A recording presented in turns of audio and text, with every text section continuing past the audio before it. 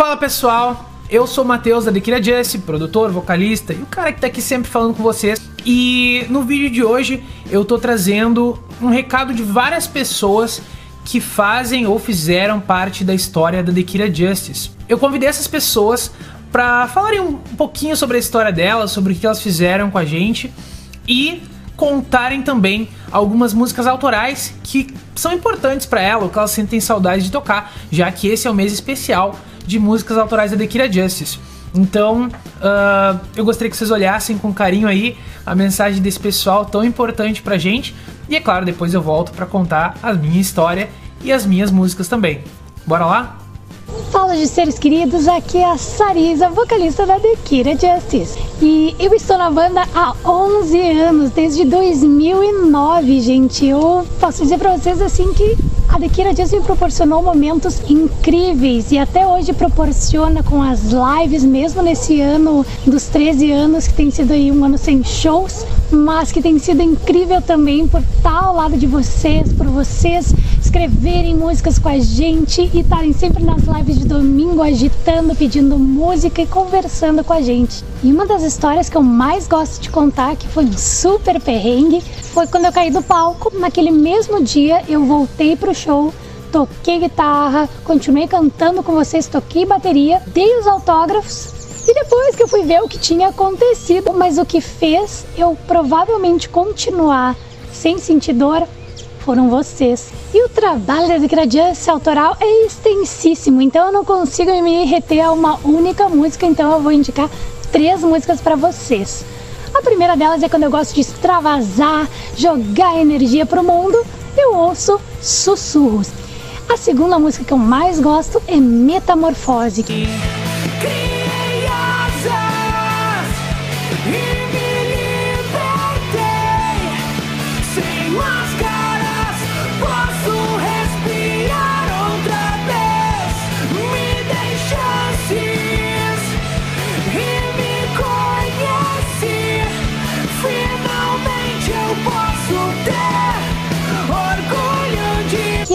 Minha queridinha que faz eu sempre seguir em frente e acreditar nos meus sonhos. E por último, a minha música favorita, é, que essa mora no meu coração, é Não Quero Acordar. E essa eu amei cantar na minha voz, assim, é uma música que sempre me traz uma energia muito boa.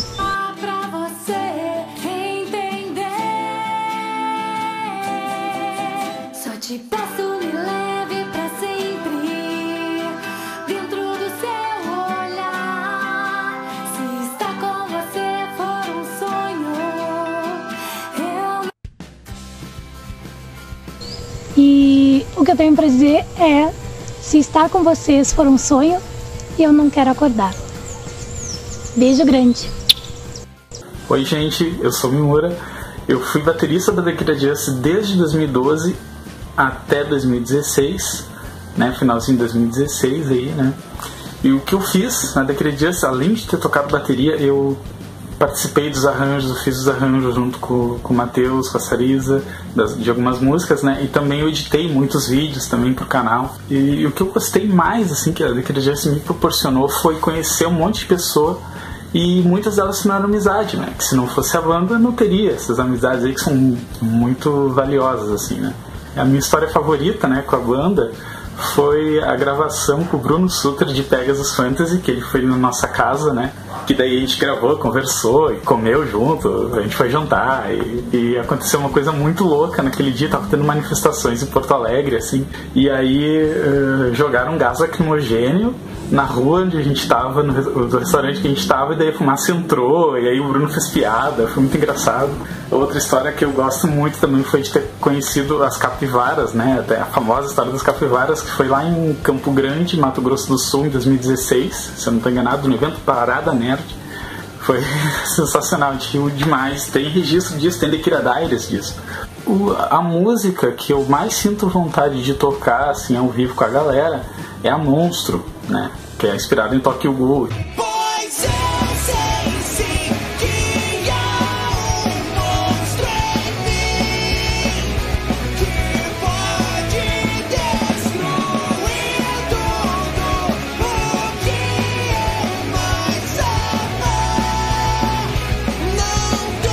uma energia muito boa na hora de tocar a bateria naquela música. Uma coisa que eu sentia tocando aquela música que eu sinto falta, assim, às vezes, né?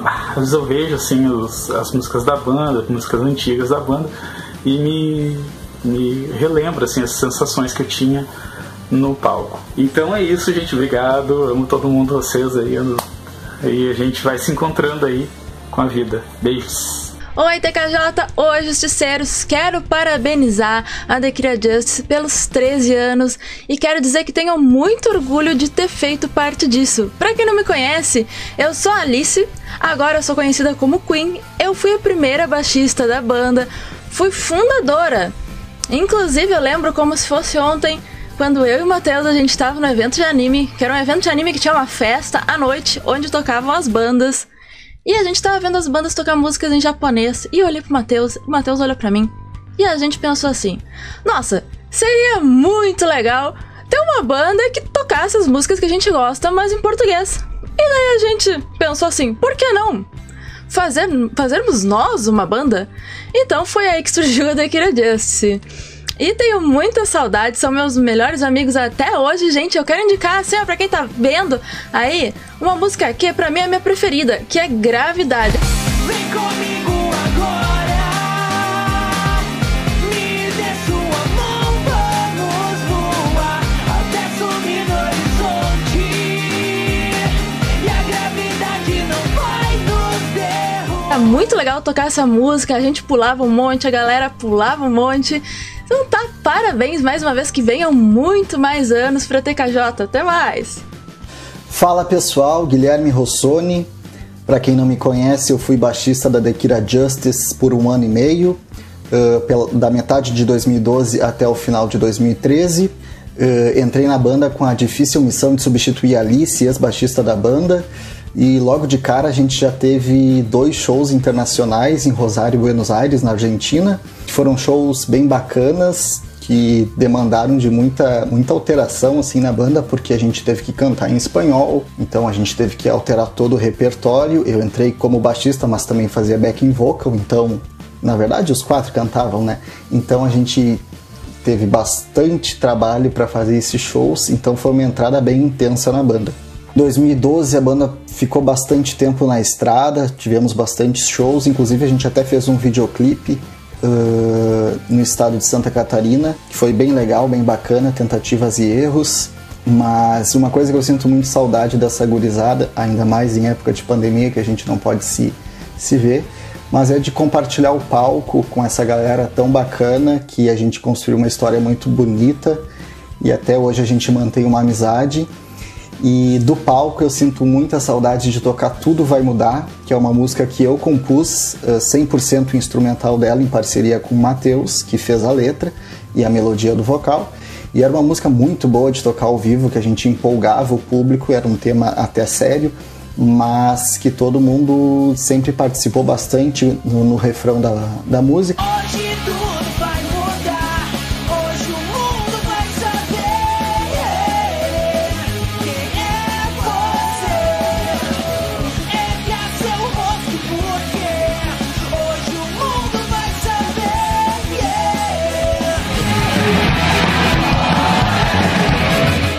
eu acho que é a música que eu mais tenho saudade de tocar com a banda num palco. E o palco, claro, é o que eu mais tenho saudade também de, de compartilhar com o público e com os meus colegas queridos de banda durante esse tempo que fiquei na TKJ.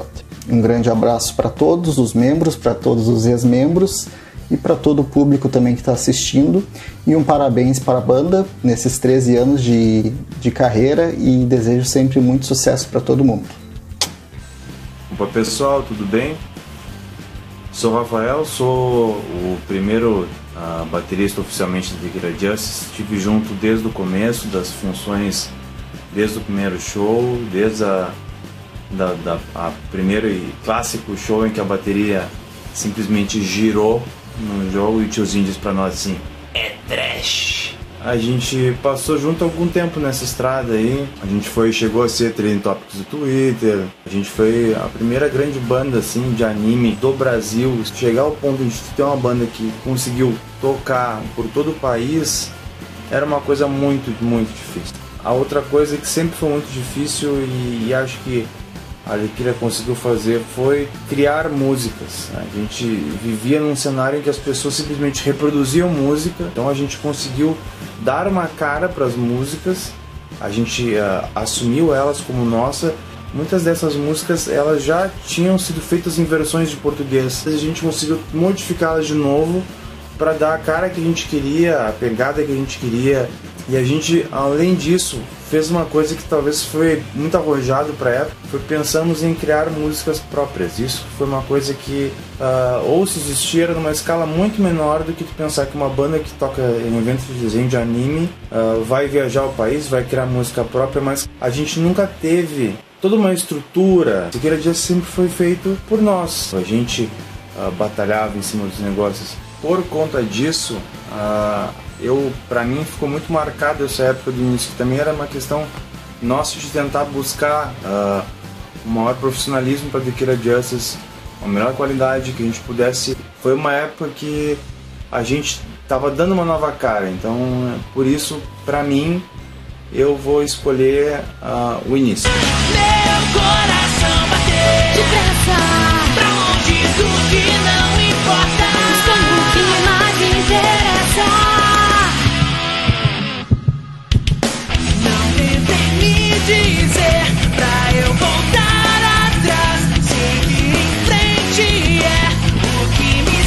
Eu me afastei, acho que foi 2012, entre 2012 e 2013, por questão de algumas questões pessoais de vida. E aí talvez alguns de vocês nem saibam que eu existia na banda, mas enfim, quem lembra, lembra, né? Isso aí. Beijo pra vocês. E aqui tô eu de volta então, meu nome é Matheus, eu tô com a Dekira Just desde que ela começou em 2007, portanto, durante todos os 13 anos uh, eu tava aqui criando música, gravando, uh, criando, tendo as ideias que vocês veem nos vídeos. E tem muita história, a verdade é que a gente sempre fez de tudo para estar tá perto de vocês, para fazer shows, tirar fotos. E isso não era só sobre a nossa carreira, era sobre o quanto isso é importante pra gente também. Tá perto de vocês, uh, olhar nos olhos quando a gente canta. Esse é um momento muito legal que a gente compartilha juntos e que dá um significado maior do que só quando vocês ouvem a, a, nossa música na internet. E por causa disso, eu queria contar algumas histórias, como por exemplo, de uma vez que a Dequira se fez, olha, eu acho que o maior rolê da nossa história, quando a gente alugou um carro lá em São Paulo para ir em vários lugares fazer show. E a gente pegou o carro, um carro praticamente novo, ele tinha tipo 20 quilômetros rodados. E aí, quando a gente foi entregar no final dos nossos shows, uh, ele tava com mais de mil quilômetros rodados em, sei lá, três dias. E tudo era show que a gente foi, a gente dormia poucas horas para conseguir ir de uma cidade a outra. Mas era um sacrifício que a gente fazia para estar tá com a galera. Ainda nessa pegada de ir de um lado a outro, teve uma vez que a gente fez um show no Maranhão num dia e no outro dia a gente tinha um show em Joinville. Para quem não, não tá ligado, são dois extremos do Brasil. Ainda mais que para vir lá de São Luís do Maranhão, que era lá no canto norte do Brasil, a gente teve que ir primeiro para Porto Alegre e aí no mesmo dia ir para Joinville. Então a gente realmente foi do norte a sul do Brasil uh, só pra estar tá nos shows. E nesse show em Joinville, que a gente foi, inclusive, uh, teve um pedido de casamento de um fã ao vivo e era uma coisa que a gente já sabia que ia acontecer e foi também um dos motivos pelo qual a gente se esforçou tanto pra estar tá lá. E também foi mais um dia que, assim, ó, dormi. Foi só uma, um momento ali, um cochilo de uma cidade para outra, que dava, assim, para dormir, era no avião e tal. Mas eu acho que valeu a pena cada segundo. E é mais uma de tantas histórias uh, incríveis e inesquecíveis que a gente construiu com vocês e que eu honestamente espero continuar construindo nos anos que vão vir. Eu só preciso que tu continue comigo, continue ouvindo nossas músicas e é claro, quando a gente puder, colhe no nosso show pra gente se ver mais, se abraçar, olhar no olho, cantar juntos, tá bom?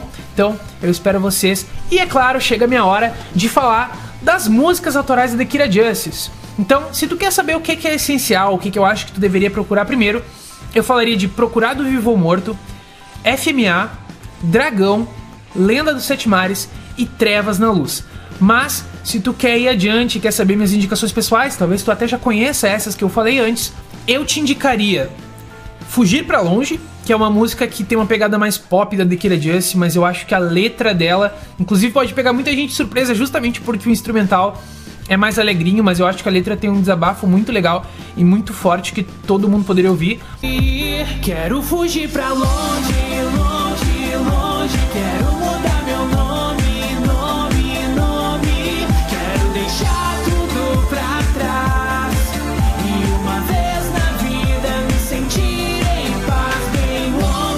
E ainda nessa, nessa pegada de desabafo misturado com alguma outra coisa, uh, eu recomendo a música Buraco Negro que ela tem um pouco de dessa pegada de universo, de espacial, mas ao mesmo tempo ela chama para o universo que tem dentro da gente. Então é uma música que talvez vocês vão gostar de conhecer e que é um pouco menos ouvida da The Kira.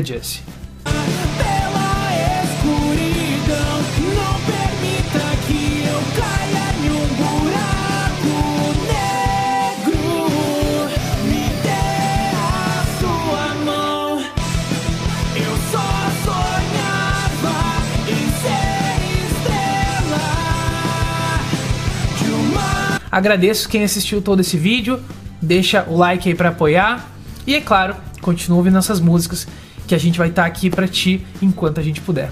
Valeu, tchau, tchau.